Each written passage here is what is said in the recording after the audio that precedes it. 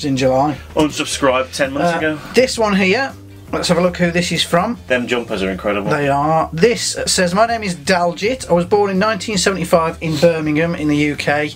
I'm on the left, and my brother Jasbir is on the right. The photo was taken 1983. God, them jumpers. They are amazing. They're twins, aren't they? They look very alike, don't they? Well, they are brothers. So, Do you think they got knitted them and had to wear them? I reckon, did your nan knit those jumpers for you? I think it was. You got them one Christmas, and Oh, thanks! your parents put you in them to take that picture. And that's the last time they ever wore them? Yeah, I reckon. Yeah. But that's a classic picture. I've got, I had loads of jumpers like that. Oh, did we all? Kid. You still do? Next, there they are on the fridge of fame.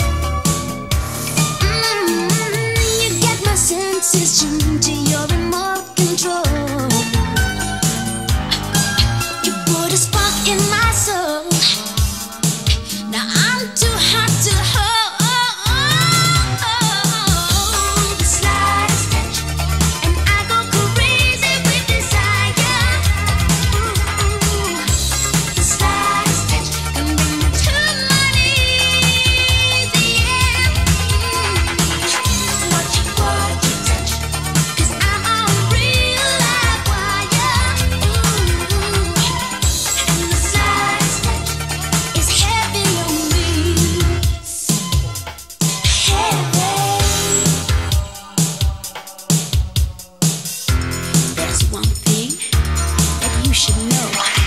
I'm about to lose my self-control. So come a little closer. No, closer than that.